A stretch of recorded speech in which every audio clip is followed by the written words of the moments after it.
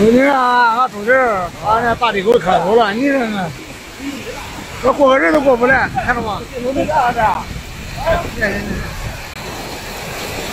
这很大嘞，你看很大嘞。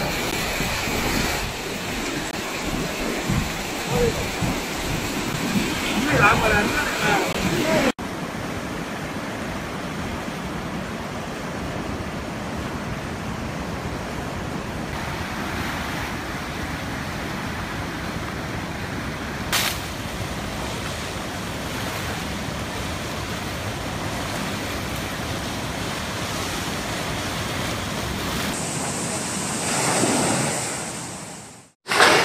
我们这超市里边，到超市买东西了，超市都瘫痪了，超市都瘫痪了，超市。买东西都没买的挺实的。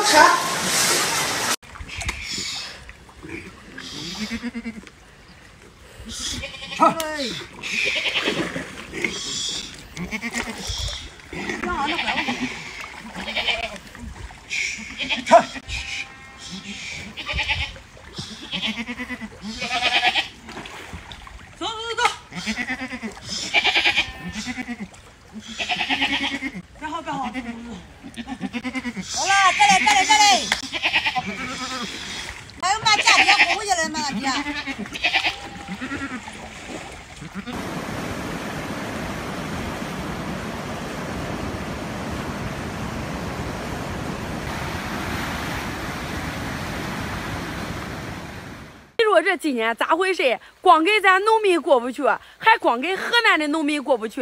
六月份大旱，就这玉米苗都浇了三四遍，一桶一桶、一捆一捆的浇，好不容易包下来。然后七月十五号一场暴雨，俺这前面村淹了几千亩。这八月份好不容易好一个月，这九月份又开始了，就连昨天八月十五都没过成。中午吃的面条子、大鸡蛋，然后昨天晚上下一夜，今天又下一天，沟来河来都满了。老乡，如果你搁外地有一份稳定的收入，你一定得好好干。你看，就在家指着这几亩地，别说是养家糊口了，就连学费都都交不起。你说是不，老乡？我的乖乖，你这都车吗这？嘿，这上京的费用靠我买船吗？别买车了。来了，好了很。好？这家是车买车专门吗？这这家是？这个是领导口头要口头要求的啊，在进地铁的话，充电宝也要登记。那这现在人人都有充电宝的年代，得增加多少人工成本啊？为什么只要我登记，而他们都没有登记？他们没有呀。那那那哥们手上那哥们手上不是那那哥们手上不是带了吗？对，不是，那为什么他要检查啊？像像刚刚那个过去啊，那人手里面拿着的，你也没让他登记啊？那你现在的问题是什么呢？我现在问题就是你们这个登记充电宝的标准和那个规定是哪里来的规章制度？这个是领导要求的。你们领导充电宝的话不是你们领导要求是有明确规定的，充电宝限量携带一百瓦时，也就是两万七千毫安这里。但是所以说我们需不是要检查我现在的问题是啊，你们要登记充电宝，这个这个规定规章制度是哪来的？领导口头要口头要求的啊，这并不你是我们说的你你你你口头要求，那你在耽误你的时间，耽误我的时间，我们也不想执行这个呀。所以说我要问清楚啊，因为这种这个的话，或者是你可以打幺二三零六。不不不不，你说了是领导口头规定的，我觉得就是呃这种规定的话，我得看到他的规规章文件这个。没有文件。那你没有文件，那领导随便说什么，这个都执行，这个合法不合法，合理不合理领导下达的命令，你说我们该不该？那你们领导下达命令，那你怎么知道他这个命令是正确的或者是不正确的呢？那你觉得我们有反抗的能力吗？说可以不登记，你说你敢说，我们可以说你走，不是说强制，没有强制性。你要说你不登，可以的，可以的。那我刚刚过来的时候没有感觉到这个，就是必须拿过来。呃，那我来问一下，采访一下，兄弟，你觉得这个充电宝他们是你可以不登记的，你知道吗？我不了解这个对啊，人家不了解，人家既然是可以不登记的，那你为什么要强制？几乎每个人都有，那我并没有看到每个人都登记，你可以看一天登记多少个？一百三十一条，这个我们没有说强制登记。那你问一下人家，你知道这个是这个是你是可以拒绝给他登记的，充电宝不能吗？可以登记一下对啊就好，了。那每个人都是很疑惑呀。你没有文件的话只，能说是我们铁路内部。你内部的话，那你要公开对外呀。你不能说你内部说一个东西的话，你今天说这个，你明天就可以做更离奇的事情，你明白吗？就大家都有一个准则，有个规章制度的。你不能说你内部文件，你内部来个文件，那你明天随便来一个不合理的任何一个文件，我们乘客都要执行吗？到现在为止，这是我问的第三个人了，人家根本就不知道。再说了，我就问任何一个人，谁愿意进来了还要耽误时间？充电宝给你，身份证扫一下，耽误这么长时间在这边登记，因为我们是怕这个充电宝在车上发生一些隐患。这里边有哪一条说了要乘客登记身份证，登记他的充电宝品牌、型号和规格？基本上就是每三秒就会进一个人，你一个小时就是一千两百个人，你一天的话，从早上六点到现在的话为止，你六个小时就是进来六千多个人，但是你登记只有一百三十一个人。好我大班长过来了，啊好，这我在，啊啊，我们过来讲，啊好，呃，你这个东西你可以先关吗？呃我不能，我要保障我的一个权利。啊，那啊，对，我我不会拍到你的人。就是第一个呢，就是我去了那么多的火车站，我没有见到过说要拿身份证嗯进行这个很详细的一个登记的嗯。我感觉我是被冒犯了。第二呢，就是我们进来的时候，我观察过，呃，客人当中呢，大概有每进十个，他才会找一个人登记。三个就是说，他也说过了，登记完了之后，他说你可以拒绝的。好，那我就现场采访了三个人，呃，每个人都不知道自己可以拒绝。啊，因为呢，你走南闯北，走了很多车站，嗯，对吧？你也是看到很多地方车站，每个车站的有个要求都不一样。一个呢，你这个呢，肯定是因为充电宝的话，它如果说过机器的话，它可能第一时间肯定不能判明你这个额度是多大的，因为它不可能从它的体积，啊或工作人员让你过来拿出来看一下，嗯嗯。这肯定是没错的，嗯对吧？嗯这是按照我们的规定，啊，这个我理解？我这大这我能理解，嗯对的，这个我知道。？这个第一个问题，第二个问题，你嗯你就是他的登记，嗯。他因为工作人员在前面也讲了，可能是最近，因为可能我们最近我们路内不太安全，嗯。就是可能是由于充电宝进站嗯。造成了一些自燃也好，或者什么情况也好，啊。那么车站车站的车车站的领导对他们安检的工作人员呢提出了要求，嗯登记下，嗯。就是说到底，他每天收多少充电宝，嗯。量肯定很少，嗯。那么我作为领导，根本肯定要知道你一天查了多少量，啊。那么他们肯定是要给领导知道一个量，嗯。那么肯定就是要有一个方式方法，嗯。那么他们可能选择的一个方法就是登记，嗯，就是告诉领导呢，比如说我今天查了啊你这位先生的，啊你这七十四你没有超，啊。那么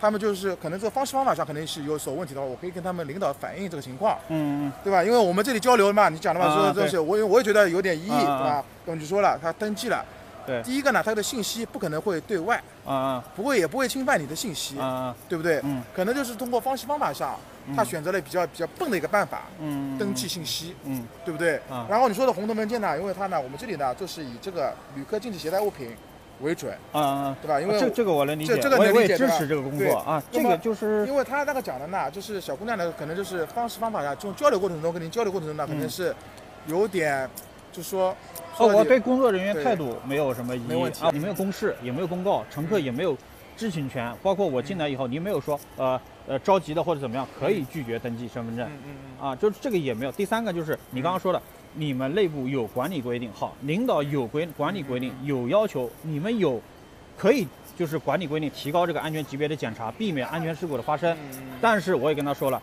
你内部怎么复杂，那是你们内部的事情，你们内部增加工作量，但你现在是增加了我乘客的工作量因为你需要我配合留下来，把身份证给到你，嗯对吧？我觉得这几个问题，你内部比如说你去加监控，你去用监控来数，你人工数那是你的事情，你每天查了多少个，嗯但你影响到我的乘客，那我肯定就要这次你跟我们交流了，那么啊确实你反映这个问题呢，我们现在也是考虑，因为呢，你讲的确实也是对的，就说。嗯你说这个东西不要登记，你看这样子行不行？嗯我跟我们领导反映一下，因为呢，我也是作为当班的一个班长，懂我意思吧？啊，对对就，就我这个问题就是，我觉得问题沟通一下，你看这样行不行？嗯因为呢，你这个反映这个情况呢，我们呢也觉得有也有必要。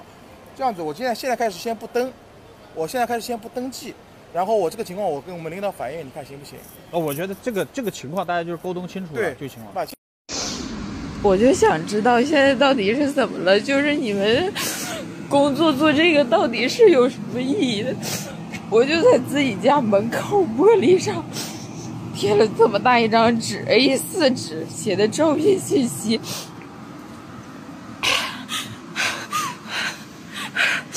这么大个门，就贴了那么大大点的一张纸，我实在是招不着人，太累了。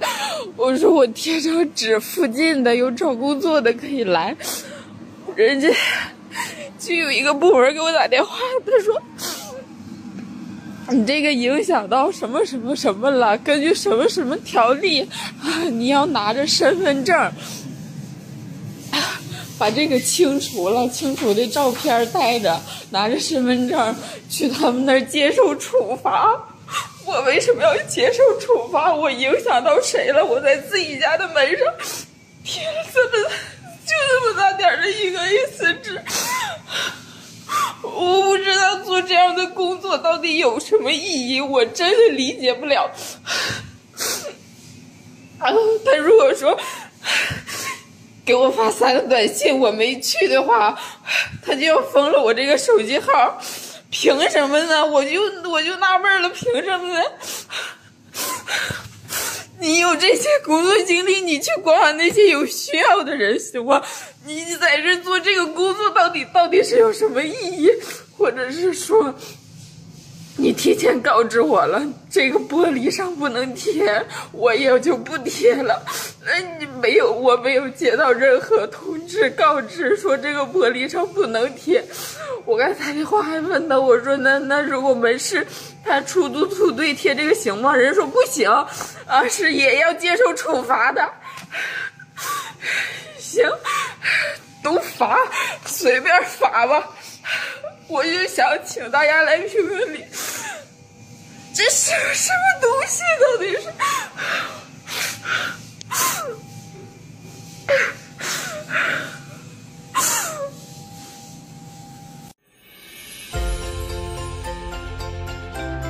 有“百草之王”美誉的人参，被视为长生不老的上等补品。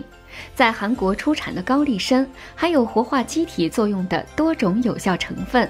可增强免疫力，使疾病无法入侵，被称为万灵补品。高丽参分野生与栽培两种，由于加工方法的不同，入药用的人参又有生晒参、白参、红参等不同的成品规格。玄宝黑参口服液以百分之百韩国优质六年高丽参为原料，根据朝鲜王朝医学宝典《东医宝鉴》记载的九蒸九铺方法，纯手工制作而成。高丽人参含有三十四种人参皂苷成分，远高于西洋参和三七参。另外，人参皂苷 RA、RF、RG3、RH2 为高丽人参独有的成分。经九蒸九铺制作后的黑参，燥火性质进去，一年四季及任何体质人均可服用，解决了人们长期关注的吃高丽参上火的问题，提高了有利于人体吸收的多种有效成分的含量。其中有免疫抗癌作用的人参皂苷 RG3 的含量比红参高八倍，人体对玄宝黑参中的人参皂苷的吸收率高达百分之八十以上，是红参的六倍多，是白参的十六倍。点击视频下方的链接，输入优惠码 DJY 二零二四即可享受全球免费邮寄。